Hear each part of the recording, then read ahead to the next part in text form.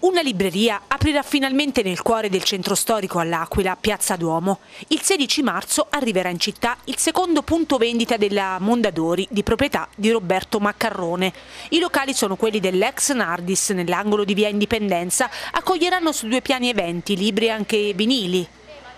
Nasciamo esattamente 35 anni fa, via 20 settembre, ha raccontato Roberto Maccarrone. Apriamo questo nuovo store con Mondadori in centro città, ma dando anche un taglio differente e più ricercato. Libri, presentazioni, ma anche una ricca sezione dedicata al venile.